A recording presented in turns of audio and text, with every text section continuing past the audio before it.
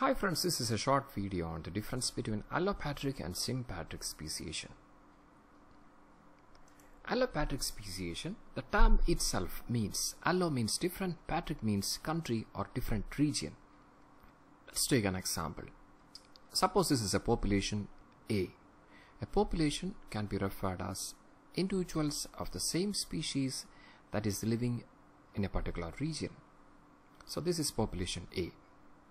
Due to some natural reasons, there formed a geographical barrier. Maybe a mountain due to an earthquake or a river or anything like that. Then this population is reproductively isolated. There formed two population, this green one and this blue one. So there is reproductive isolation as there is a geographical barrier.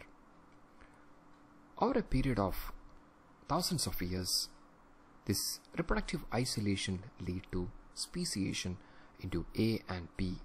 After that, this cannot interbreed. This becomes two species. So simply allopatric speciation occurs when a population is separated by geographical barriers like mountains, rivers, etc.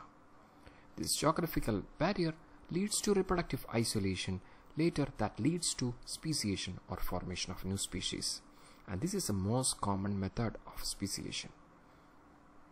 And this is another picture. You can see this is a single species a population. Then there is a geographical barrier. During the course of time this becomes two species. Now the next type of speciation is sympatric speciation. Sim means same and patric means country. So formation of species from ancestral species all occupying the same geographical area Suppose this is the original population that is A.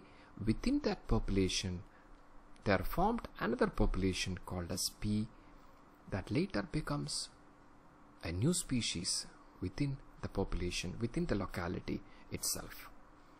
Here the newly formed species and both the ancestral species all are occupying the same geographical region. The population is not geographically isolated and this often occurs by polyploidy very common in plants. Green colored population may be diploid all on a sudden maybe due to mutation there is a subpopulation that is formed that is polyploid. This subpopulation cannot interbreed with this population A that leads to reproductive isolation and finally forming two species A and B.